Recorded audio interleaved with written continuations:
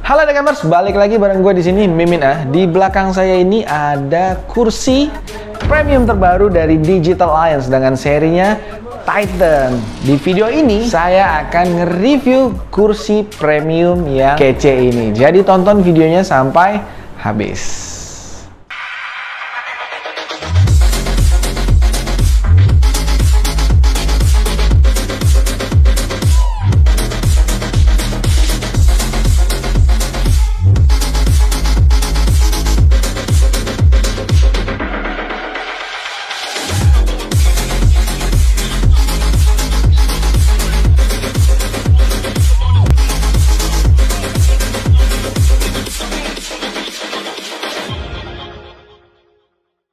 Oke, selanjutnya kita bahas ke materialnya. Tentunya, karena kursi ini premium, kita juga menghadirkan material yang premium. Kursi seri Titan ini menggunakan bahan velvet dan bahan fabric. Bisa dilihat pada bagian sandaran punggung serta dudukannya dia itu terbuat dari bahan fabric sedangkan untuk bagian bantalannya dan pinggir-pinggirnya nih untuk list-listnya dia itu terbuat dari bahan velvet atau bahan bludru jadi bener-bener halus banget. Selanjutnya untuk bagian sandaran tangannya, si Titan ini dia memiliki fitur 4D atau 4 direksi, 4 arah. Dia bisa ke atas dan ke bawah, lalu ke depan dan ke belakang, ke kanan dan ke kiri,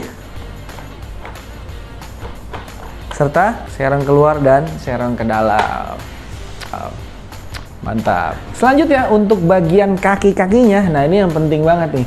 Bagian kaki dari seri Titan ini dia menggunakan bahan metal atau besi.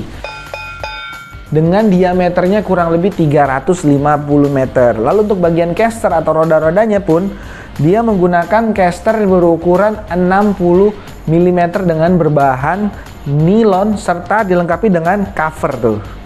Selanjutnya untuk berikutnya seperti eh seperti yang saya bilang di awal, kursi Titan ini dia menggunakan bahan dari fabric dan velvet atau bludru dan juga busa yang digunakan pada kursi Titan ini dia adalah busa colded alias busa yang dipadatkan namun tetap empuk. Tuh. Mantap. Fitur berikutnya ini penting banget nih. Jadi kalau kita sudah duduk seharian atau kerja atau mungkin belajar, pastikan butuh namanya perenggangan. Kursi Titan ini bisa kalian rebahkan sampai 160 derajat. Ah. Selanjutnya, kursi ini juga bisa kalian ayun-ayunkan seperti ini. Dan bagi kalian yang tidak mau diayunkan, kursi ini juga sudah support tilt lock. Jadi tinggal kalian dorong tuasnya ke dalam, dia tidak akan bergoyang tuh. Dia akan terkunci. Enak juga. Untuk bagian dudukannya, si Titan ini memiliki panjang 53 cm serta lebar 51 cm. Lalu pada bagian sandarannya, Titan ini memiliki tinggi 85 cm serta lebar 56 cm. Kursi ini bisa dinaik dan turunkan juga. Kursi Titan ini memiliki ketinggian minimum 128 cm dan ketinggian maksimumnya 133 cm. Kursi ini cocok banget nih buat kalian yang mencari kenyamanan karena bener-bener nyaman banget. Dan terakhir, yang paling penting nih, kursi ini dapat menampung bobot berat sampai 120 kg. Dan sekedar informasi aja, tinggi saya ini 180 cm. Kurang lebih lah. Dan ini adalah perbandingan sandaran kursi dengan tinggi saya. Secara keseluruhan, kursi seri Titan ini memiliki berat bersih 21 kg.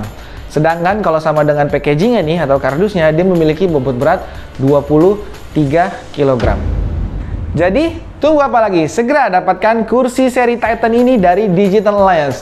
Untuk informasi harga dan juga link pembelian, saya sudah cantumkan di deskripsi yang di bawah. Saya Mimin A, sampai jumpa di video review berikutnya. Bye!